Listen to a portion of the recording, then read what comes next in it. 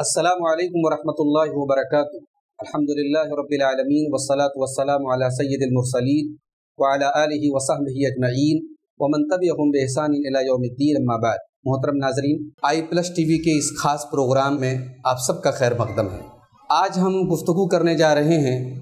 اس وقت ہمارے نوجوانوں میں بہت ہی زیادہ مقبول اور پاپولر ڈرامے کے بارے میں، جس کو ہم ارتغرل غازی کے نام سے جانتے ہیں۔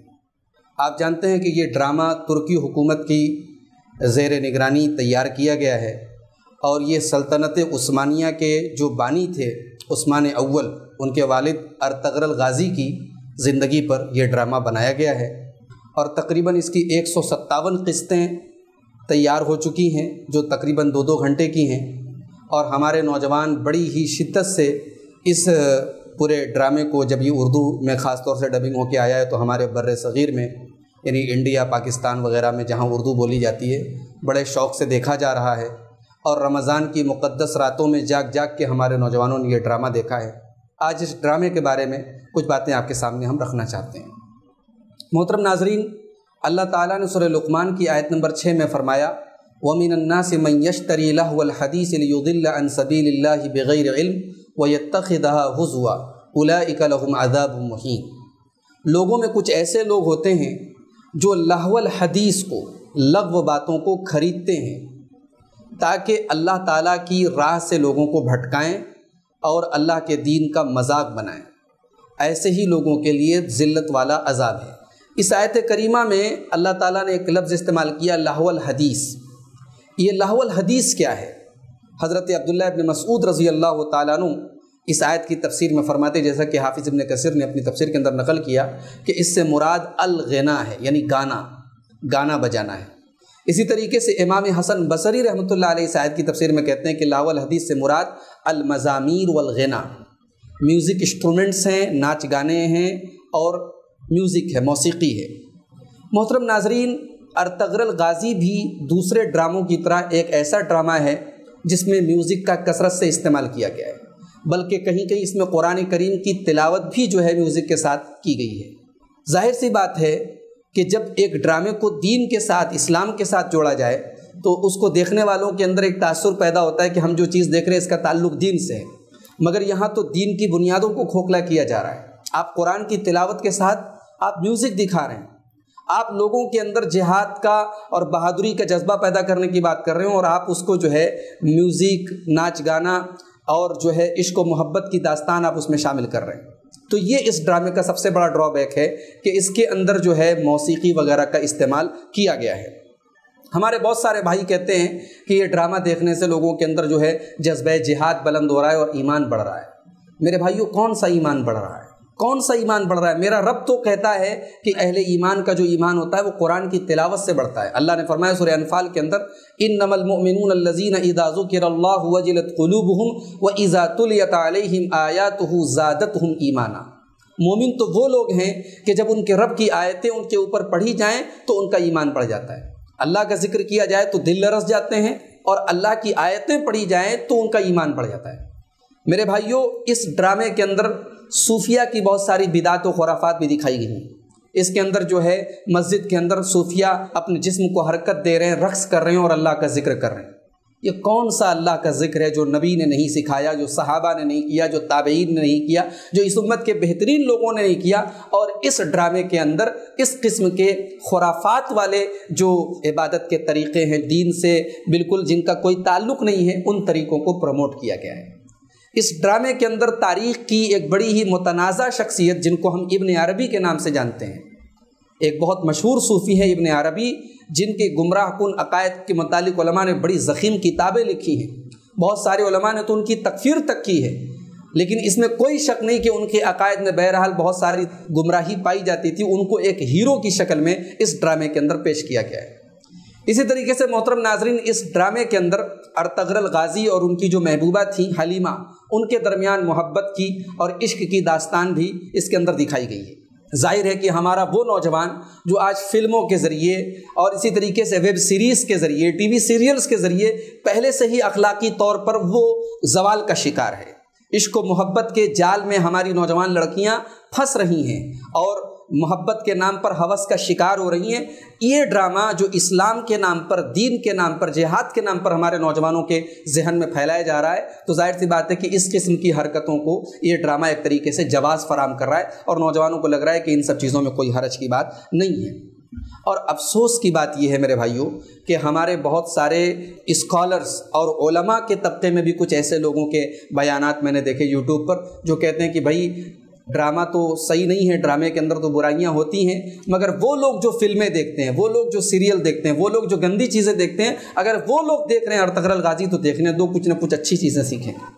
یہ کون سی لاجک ہے؟ یہ کون سی منطق ہے میری سمجھ سے باہر ہے میرے بھائی؟ ہم حرام چیزوں سے روکنے کے لیے ہم اس کا بدل حلال پیش کریں گے۔ ہم زیادہ حرام کے مقابلے میں کم حرام نہیں پیش کریں گے، ہماری شریعت کا فارمولہ نہیں ایک آدمی شراب پی رہا ہے تو چلو بھائی تم شراب مت پیو، شراب بہت خطرناک چیز ہے چلو تم سگریٹ پی لو۔ تم بیڑی پی لو، تم تمباکو کھا لو۔ یہ فارمولہ نہیں ہے شریعت کا۔ جو چیز غلط ہے، وہ اگر ویب سیریز کی شکل میں ہے تو بھی غلط ہے، اگر بالی ووڈ فلم کی شکل میں ہے تو بھی غلط ہے، اور اگر ارتغرل غازی کی شکل میں ہے تو بھی غلط ہے۔ محترم ناظرین یہ جو ڈرامہ جب سے اردو میں اس کی ڈبنگ ہوئی، اپریل میں اس کی ڈبنگ ہوئی ہے، اور اس کے بعد رمضان کا مقدس مہینہ شروع ہوا، اور آپ جانتے ہیں کہ زیادہ تر ملکوں میں اور خود ہمارے ملک میں لاک ڈاؤن چل رہا تھا، ہمارے نوجوانوں نے جی بھر کے رات رات بھر جو ہے اس ڈرامے کو دیکھا ہے۔ آپ غور کریں کہ رمضان کی وہ مقدس راتیں جو عبادت کے لیے ہوتی ہیں، جو اللہ کی بارگاہ میں رونے کے لیے ہوتی ہیں، جو مناجات کے لیے ہوتی ہیں، ان راتوں کو ہمارے نوجوانوں نے اس سیریل میں برباد کیا ہے اور ابھی بھی اس سیریل کو دیکھ کر اتنے متاثر ہو رہے ہیں کہ ابھی ہمارا ایمان بڑھ رہا ہے، ہمارے ایمان کو طاقت مل رہی ہے۔ آپ کے ایمان کو حضرت علی رضی اللہ تعالیٰ عنہ کی سیرت پڑھ کے تازگی اور مضبوطی نہیں ملی؟ فاتح خیبر سیدنا علی مرتضیٰ کی سیرت کبھی آپ نے پڑھی؟ کبھی آپ نے سیف اللہ حضرت خالد بن ولید کی سیرت پڑھی؟ کبھی آپ نے فاتح مصر سیدنا عمر بن عاص کی سیرت پڑھی؟ کبھی آپ نے فاتح سندھ محمد ابن قاسم کی سیرت پڑھی؟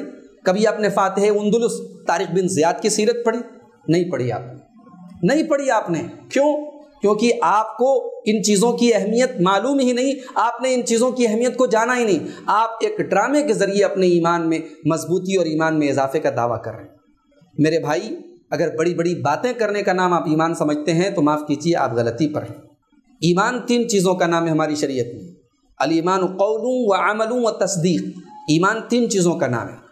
اللہ تعالیٰ کی وحدانیت، رسول اکرم صلی اللہ علیہ وسلم کی رسالت اور جو بھی شریعت کی بنیادی چیزیں، ان کا زبان سے اقرار کرنا، دل سے ان کی تصدیق کرنا اور اس پر عمل کرنا۔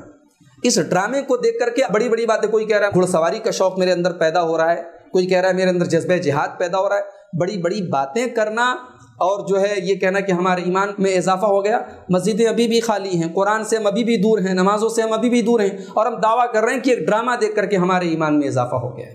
نہیں میرے بھائی، جیسے عام ڈراموں میں بہت سارے مرچ مسالے لگائے گئے، اس ڈرامے کے اندر بھی مرچ مسالہ لگائے گئے۔ اس کے اندر جو تاریخ بتائی گئی ہے، ظاہر سی بات ہے کہ اس میں بہت ساری باتیں غلط ہیں، بہت ساری باتیں فیک ہیں۔ اس میں کوئی شک نہیں کہ ارتغر الغازی ایک بہادر شخصیت اور ایک بہادر کردار ہے ہماری تاریخ کا۔ اور سلطنت عثمانیہ، اسلامی تاریخ کی ایک مضبوط سلطنت ہے، مگر کوئی یہ اکلوتی خلافت اور اکلوتی سلطنت نہیں ہے۔ اس کے پہلے بڑے لمبے عرصے تک سلطنت عموی خلافت عموی تھی۔ ایک بڑے عرصے تک جو ہے خلافت عباسیہ تھی۔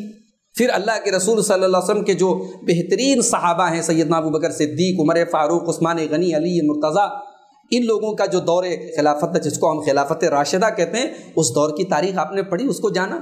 ان تمام چیزوں کو نہ ہم نے کبھی پڑھا، نہ جانا اور ہم ایک ڈرامے کے ذریعے دعویٰ کر رہے ہیں کہ نہیں صاحب، ہمارے ایمان میں اضافہ ہو رہا ہے۔ میرے بھائی، اس پروپیگنڈا کو سمجھنے کی کوشش کیجیے کچھ حکومتیں، کچھ ملک اپنے مخصوص ایجنڈوں کو پروموٹ کرنے کے لیے اس قسم کے ڈراموں کو پوری دنیا میں نشر کر رہے ہیں تاکہ ان کے نظریات اور ان کی فلاسفی اور ان کی مینٹیلٹی اور ان کی آئیڈیولوجی سے دنیا اتفاق کرے۔ میرے بھائی، اصل جو چیز ہمارے لیے ہے وہ قرآن اور سنت ہے۔ نبی اکرم کی سیرت ہے، صحابہ کی سیرت ہے صلف صالحین کی سیرت ہے، تابعین کی سیرت ہے، آپ ان کو پڑھیں۔ صحابہ کرام سے بڑا بہادر اور ان سے بڑھ کر کے دین کی قربانی دینے والا کون ہے؟ آپ مصعب ابن عمیر کی سیرت پڑھیں، آپ شہدائے بدر کی سیرت پڑھیں، آپ شہدائے عہد کی سیرت پڑھیں۔ میرے بھائیوں آپ کے ایمان میں یقیناً اضافہ ہوگا۔ اور میری آپ سب سے گزارش ہے کہ اپنا قیمتی وقت اس طریقے کے ڈراموں میں برباد مت کیجیے۔ اللہ کے یہاں حساب دینا ہے۔ متردر حاکم کی صحیح روایت اللہ کے نبی صلی اللہ علیہ وسلم نے فرمایا، اغتنم خمسن قبل خمسن پانچ چیزوں کی قدر کرو، اس کے پہلے کہ پانچ چیزیں آ جائیں۔ ان پانچ چیزوں میں ایک چیز آپ نے فرمایا حیات کا قبل موتک۔ اپنی موت کے آنے کے پہلے اپنی زندگی کی قدر کرو۔ تو محترم ناظرین، میں امید کرتا ہوں کہ ہمارے وہ نوجوان جو اس ڈرامے پر دل و جان سے فدا ہیں، میری ان سے گزارش بھی ہے کہ آپ اپنے اس وقت کو، اگر اللہ کے رسول کی سیرت پر جو کتابیں جیسے الرحیق المختوم ہیں جیسے علامہ شبلی نعمانی کی سیرت النبی ہے، اسی طریقے سے آپ جو تاریخ کی معتبر کتابیں آپ ان کو پڑھیں اور ان سے آپ انسپائر ہوں تو میں سمجھتا ہوں کہ زیادہ بہتر ہے۔ بنسبت اس کے کہ آپ موسیقی، عشق و محبت اور غلط قسم کے بدعت و خرافات پر مبنی ایک ڈرامے کو دیکھ کر کے اپنا وقت برباد کریں۔ رب العالمین سے دعا ہے، اللہ تعالی ہم سب کو صحیح سمجھتے اور اپنے وقت کا صحیح استعمال کرنے کی توفیق عطا فرمائے۔ آمین۔ و آخر دعوانا ان الحمد للہ رب العالمین۔